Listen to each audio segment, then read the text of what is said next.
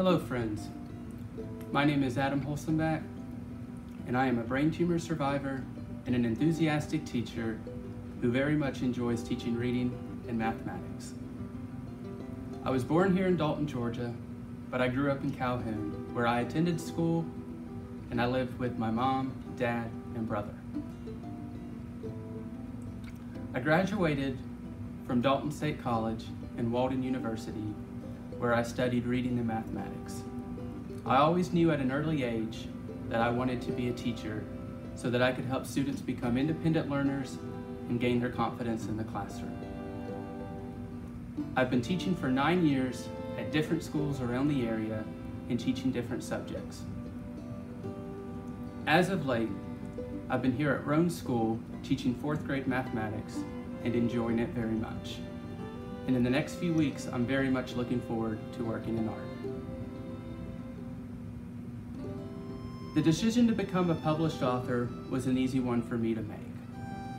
Writing stories and creating them was always a great passion, and it came very easy to me, especially after writing a funny story about a cat and a dog with superpowers when I was a very young boy. Writing also come naturally to me, which is why I wanted to create a story so that I could be in complete control of what happened to my characters within the story.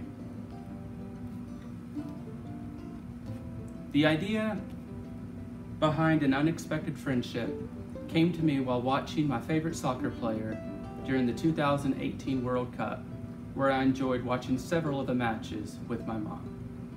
After that final match between France and Croatia, I decided to start organizing my thoughts and piecing together my story like a jigsaw puzzle. One year later, my story was finished and I was beyond excited. So I quickly started working with my editor and proofreader who helped enhance my story by making my writing even stronger.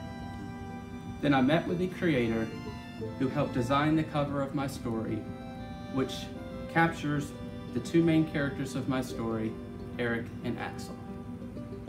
Friends, I come here to tell you that if you have a dream, regardless of how small or big that dream may be, with sheer determination and a positive mindset, I can assure you that that goal will and can be attained.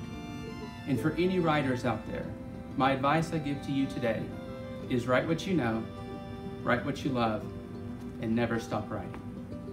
Thank you for taking a minute to listen to me today, and I hope each and every one of you has a blessed day.